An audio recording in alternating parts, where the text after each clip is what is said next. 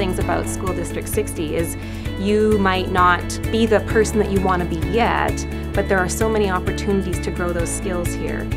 I was an elementary school uh, trained teacher when I graduated from ACODE at Northern Lights College.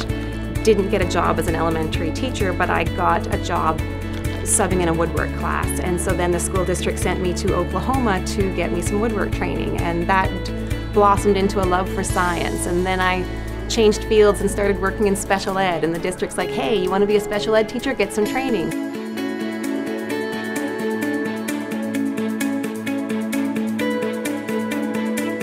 We're very supportive here in School District 60. We want our new teachers to feel supported and to stay in the Peace River North Country.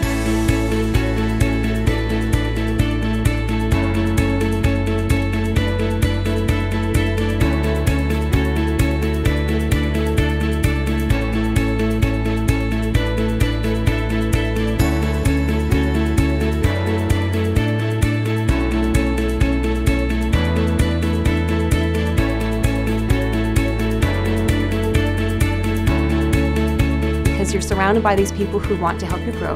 They support you, they get you connected to the people and the places that you need to be connected to so that you can be what you want to be.